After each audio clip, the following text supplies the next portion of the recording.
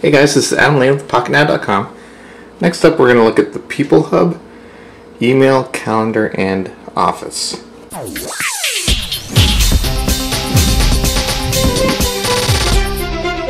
So right up here is my People tile, and it's showing little tiny pictures of people in my contacts. So let's press that. And here we get to the recent people. These are people that I recently emailed or text messaged or phone called. So you got about eight of them are going to show up here. And they're popping with their names are showing up or their status updates. Those are all going to come up uh, occasionally. If I go over here, these is uh, all my people. So I can scroll through here and see everybody. Or I can search and just type somebody and get right to him. And this little button will add a contact, so that's a quick way to add somebody. You can choose which account you want to add them to. And you know, edit all their information there. Over here is the What's New feed. This will show Facebook and Windows Live updates. And we got, there it goes the little uh, message icon, the plus symbol, that'll let you comment on those Facebook updates. And you can see when somebody else comments, it'll show a number of how many people commented on that.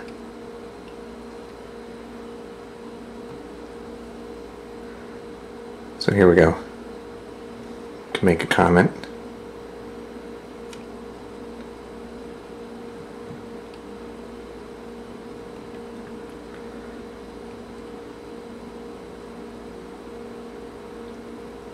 That should do it. There it is.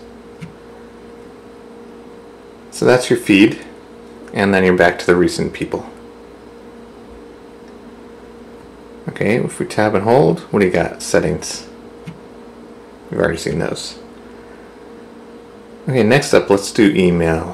Which email account should I go to? How about Hotmail?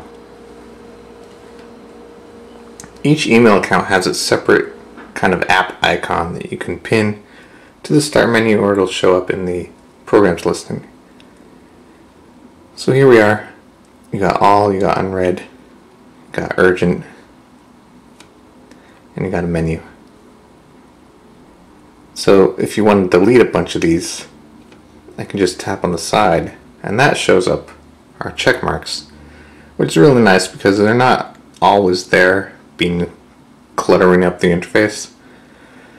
So you can select a bunch of them and delete with the trash can or move them all at once like that. Optionally, you can press that button and bring up the checkboxes. So the plus icon, here we go. If we bring up the menu, you can see the uh, what each icon means. So there's new, folders or sync. So let's look at folders. And by default, it only syncs the inbox. But if we say show all folders, we can go to different folders. And then I can say sync this folder. And that will turn on sync for this folder. So it will always download new messages for this folder. You can see it's checking for messages. Uh, I don't know if we want to wait. So there's folder. Let me go to another one. Drafts. This one does not sync at all. Not in Hotmail, not in IMAP emails, not in Exchange. When it comes to draft messages, it's either going to be on your phone or on your real email account, which is a total pain. Because what if I started a draft email on my desktop and I want to finish it on my phone. Sorry, you're out of luck. No way to sync drafts. That's a pain.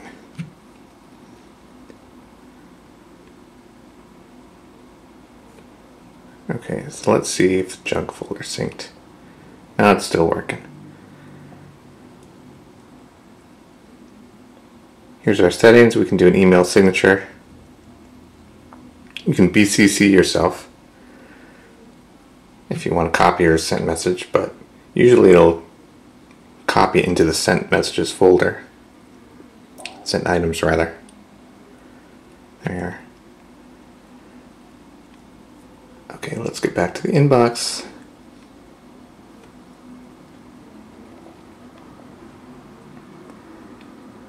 Think I have anybody with a picture here.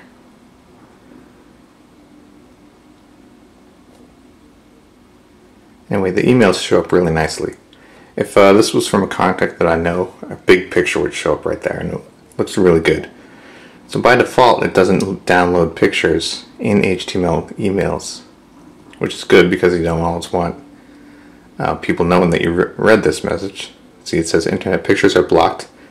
So if I tap it, then it'll download all my pictures. And you can zoom out, see the whole thing.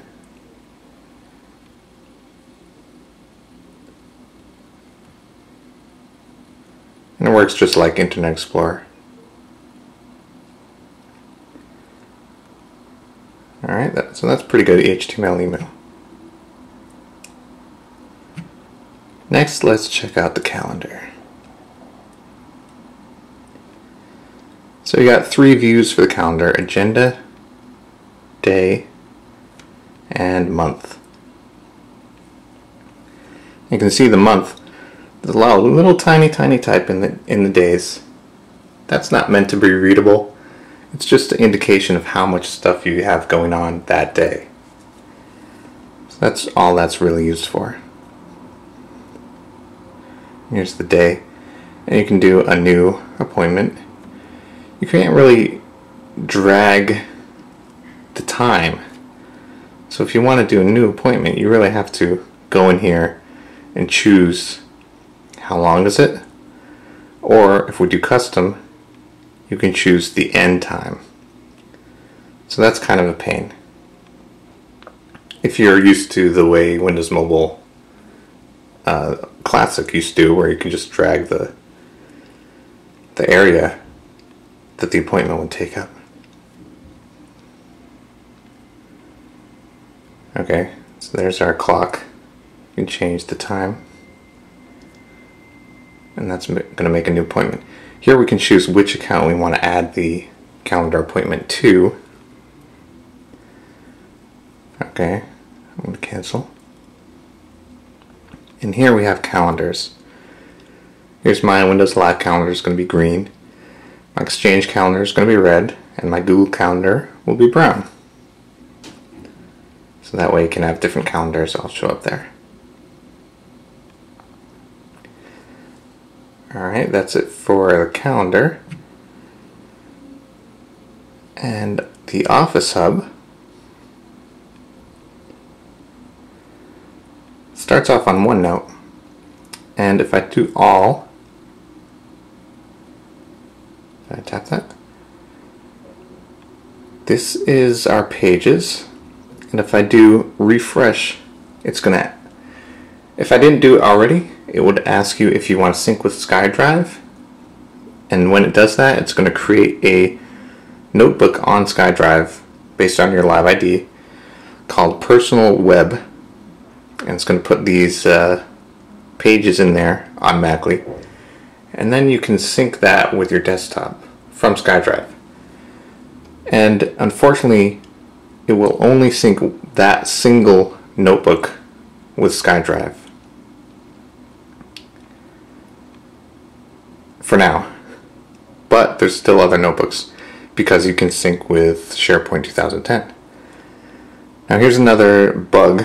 Well, maybe it's a feature, but it's a limitation nonetheless.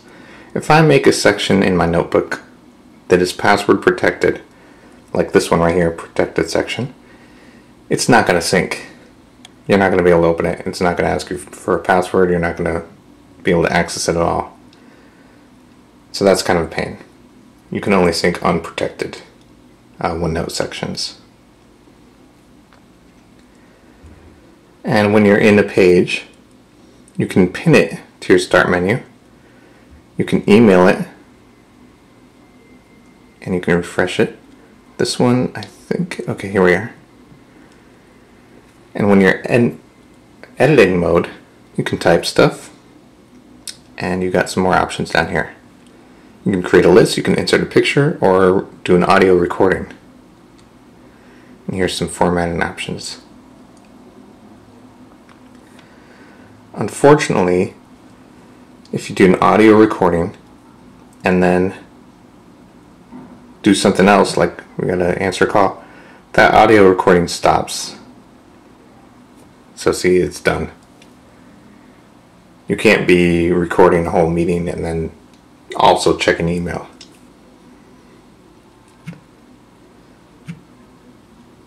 So that's a bug, or at least a pain. Next up is our documents listing. You can create a new document. You got Excel, Word, or PowerPoint. These are all pretty basic, but they have uh, commenting support. You can save as and send.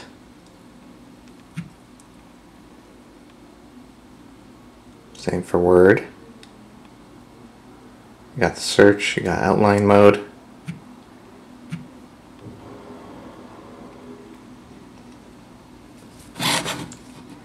PowerPoint. If you're in the edit mode, you can change some text.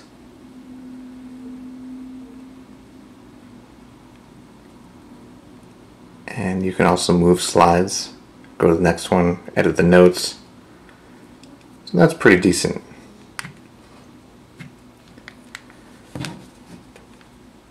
Then we got the SharePoint stuff. I don't have a SharePoint 2010 server, but uh, they would show up here, and your SharePoint workspaces would show up here. There's no tap and hold menu there. But that's pretty much it for Office. So there you go, and that's it for now.